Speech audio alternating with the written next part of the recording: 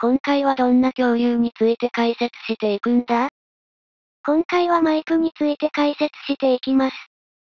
マイプは、アルゼンチンのサンタクルス州から化石が産出した、後期白亜紀のメガラプトル類に属する獣足下食いの恐竜の属。体長は？全長約9メートル、胴体幅約1.2メートル、体重約5トンと推定されており、頑強な体格をしていたことが示唆される。当時の南アメリカにおける最大級の獣脚類恐竜であり、頂点捕食者であった可能性がある。発見された化石は？2020年3月から研究チームによる調査が開始。椎骨や肋骨が確認されているが、2020年の時には頭蓋骨は発見されていない。2022年4月に原記載論文が発表された現在は多くの化石が見つかっている。初発見は？マイプのホロタイプ標本は、2019年にアルゼンチンのサンタクルス州に位置するエルカラファテから 30km 西にて、アレクシス・ローランドにより発見された。当該標本は関節しない状態で発見されたが、5メートル ×3 メートルの範囲内に集積していた。ホロタイプ標本には他のメガラプトル類ではこれまで確認されていない骨も含まれている。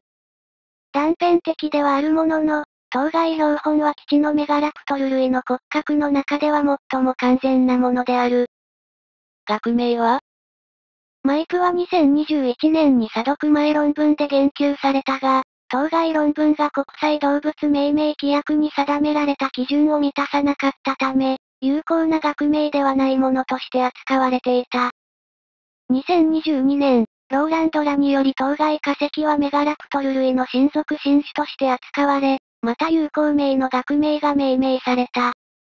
俗名のマイプは霊風で殺す死の影としてテウェルチェ族の神話に登場する悪霊にちなみ、首相名は大型の胸空を反映してギリシャ語で長いを意味する言葉とラテン語で銅を意味する言葉に由来する。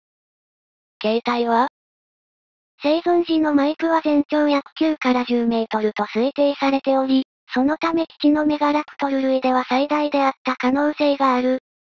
メガラプトル類のメンバーは後期白亜紀前半の南半球におけるカルカロドントサウルス科の絶滅に続いて大型化を遂げており、頂点捕食者の不在により他の獣脚類が多様化して空白の生態的地位を埋められるようになったという仮説が提唱されている。アベリサウルス下等年ラギや赤に加え、メガラプトル類は彼らの生態系における主要な捕食者となった。基地のメガラプトル類の解析によると、当該系統群のメンバーはバレミアン期からアプチアン期にかけてアジア南アメリカオーストラリアに分布するもので全長4から4。5メートル、アプチアン期から前期中ロニアン期にかけてオーストラリア南アメリカに分布したもので全長4.5から6メートルである。中ロニアン期からコニアシアン期のメガラプトル類は南アメリカのみから化石が産出しており、より大型で全長6から7メートルである。最後に、サントニアン期からマーストリヒチアン期のものはさらに大型であり、全長7から10メートルに達する。肋骨に保存された後は、記載者により人体の付着点として解釈されている。このことからマイプの呼吸器は、ワニなど原生爬虫類よりもむしろ原生鳥類のものに類似することが示唆されている。ご視聴ありがとうございました。終わり。